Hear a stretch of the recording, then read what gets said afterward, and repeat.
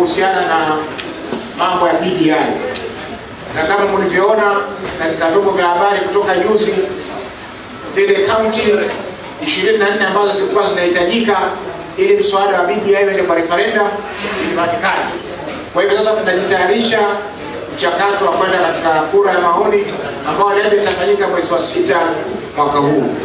Wakati tunakwenda katika uh, mchakato huo, tunaomba kwamba tutumie lugha ya Kiswahili kusoma BBI, na naomba serikali ihakikishe kwamba kuna nakala za kutosha za Kiswahili ili wananchi waweze kuisoma na kuielewa, ili kusiwe na tafaruku ama kupotezana, uh, kupotea njia kuhusu ni nini BBI inasimamia.